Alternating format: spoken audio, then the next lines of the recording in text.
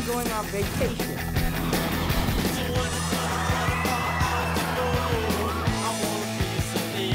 We are far from home. We are in Indonesia in Bali. We're at the fan event for Spider-Man Far From Home, and the turnout is amazing. The fans have been so wonderful, so supportive. So it's great to be here, and I'm so excited to share the movie with them.